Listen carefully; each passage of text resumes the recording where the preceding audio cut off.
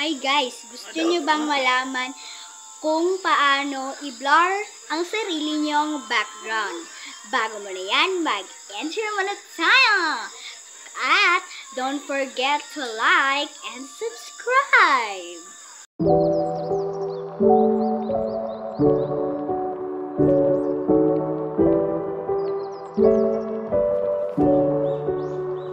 Hi guys! So, i-click nyo na ang CapCut. Nandito na tayo. At, pumili lang tayo ng mga video. So, ito yung second. Then, click add one. Heto na siya. And may makikita kayo dyan sa tools. Pindutin nyo ang effects. Pindutin nyo ang video effects. Ayun lang natin.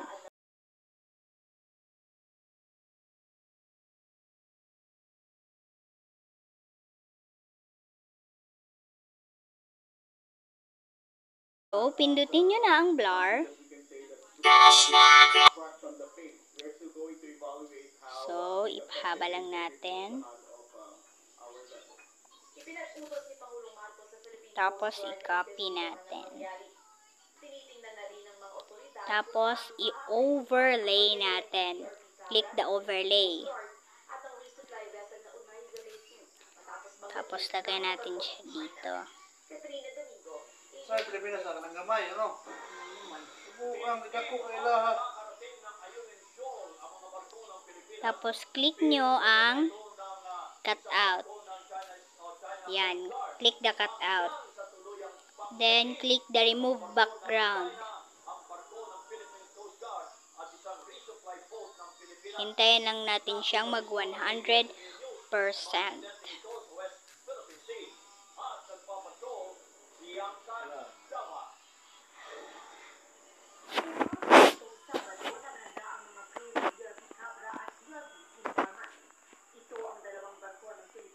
Pahab wag na lang nating pahabain.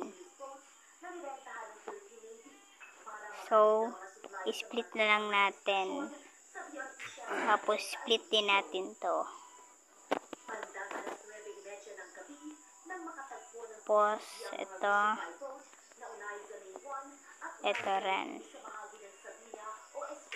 Para madali lang yun. Para madali lang ang pagre-remove background niya.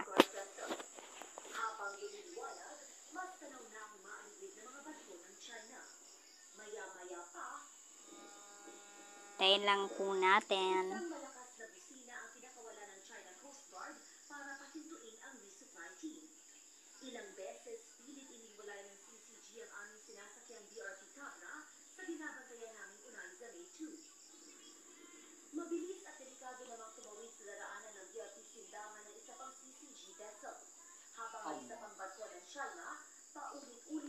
Wait lang po ha. Pero kalaunan ay nakalusot ang Unaiza May 1 Um, i-ano, i-adjust lang po natin yung volume. I-zero po natin.